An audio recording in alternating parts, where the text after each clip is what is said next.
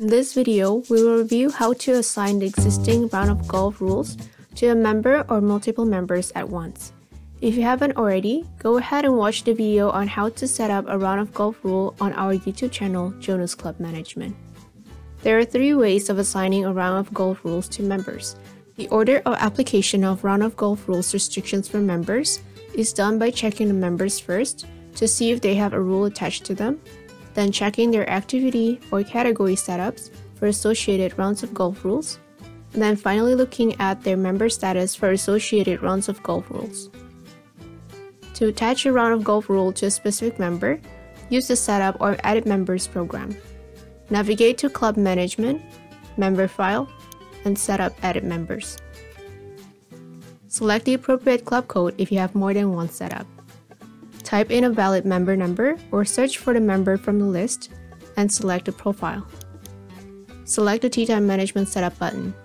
Use the screen to define at the member level the default for the Tee Time Management module.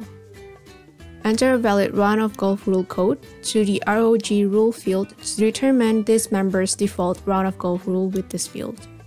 Select OK to save the changes. A more generic option to apply rounds of golf restrictions is by club activity type.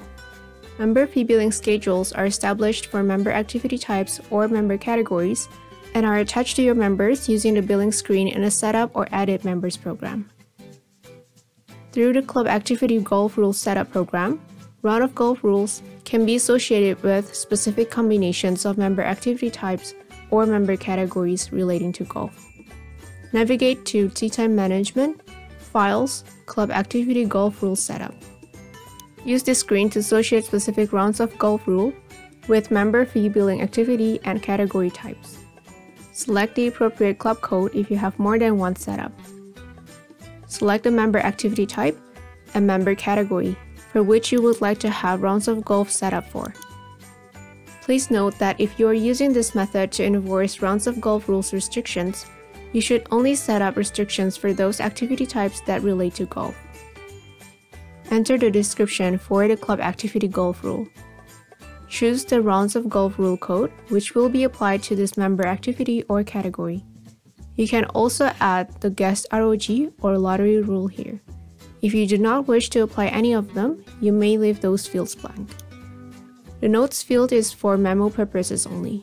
Please note that this information is not displayed anywhere else in the Tee Time management system. Select OK to save the setup. Rounds of golf rules can also be enforced through member status rules. Navigate to Club Management, Club Setup, Member Status Rules, Tee Time Management Setup. Use this screen to define at the member status level defaults for the Tee Time Management module. Select the appropriate club code if you have more than one setup.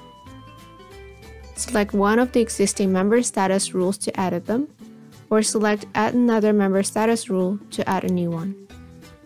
Enter a valid member status code, or search from a list and select one of them. Select the Tee Time Management Setup. Choose the rounds of golf rule code which will be applied to this member status. You can also add the guest ROG or lottery rule here. If you do not wish to apply any of them, you may leave those fields blank hit OK to save the setup. Thanks for watching, stay tuned for more how-to videos and don't forget to subscribe.